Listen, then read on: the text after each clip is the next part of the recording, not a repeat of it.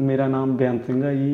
ਸਾਡੇ ਗੋਬਿੰਦਗੜ੍ਹ ਮੰਡੀ ਵਿੱਚ ਜੋਗਿੰਦਰਾ ਵੈਲਫੇਅਰ ਤੋਂ ਕੈਂਪ ਲੱਗਿਆ ਸੀ ਅਤੇ ਮੈਂ ਆਪਣੀ ਵਾਈਫ ਨੂੰ ਉੱਥੇ ਲੈ ਕੇ ਗਿਆ ਜੀ ਅਤੇ ਉਹਨਾਂ ਨੇ ਵਾਈਫ ਦਾ ਚੈੱਕਅਪ ਕੀਤਾ ਅਤੇ ਉਹਨਾਂ ਨੇ ਸਾਡਾ ਇਲਾਜ ਰਾਣਾ ਹਸਪਤਾਲ ਦੇ ਵਿੱਚ ਕਰਵਾਇਆ ਅਤੇ ਉੱਥੇ ਸਾਡਾ ਵਧੀਆ ਤਰੀਕੇ ਨਾਲ ਇਲਾਜ ਹੋਇਆ ਅਤੇ ਅੱਜ ਸਾਨੂੰ ਛੁੱਟੀ ਦੇ ਦਿੱਤੀ ਗਈ ਆ ਅਤੇ ਅਸੀਂ ਰਾਣਾ ਹਸਪੀਟਲ ਅਤੇ ਜੋਗਿੰਦਰਾ ਵੈਲਫੇਅਰ ਦਾ ਬਹੁਤ ਬਹੁਤ ਧੰਨਵਾਦ ਕਰਦੇ ਹਾਂ ਮੇਰਾ ਨਾਮ ਬਲਬੀਰ ਸਿੰਘ ਮੈਂ ਗੋਬਿੰਦਗੜ੍ਹ ਕੈਂਪ ਲੱਗਿਆ ਸੀਗਾ ਉੱਥੋਂ ਬਹੁਤ ਸਿਰ ਦਾ ਦੁੱਖ ਨਿਕਲਿਆ ਸੀ।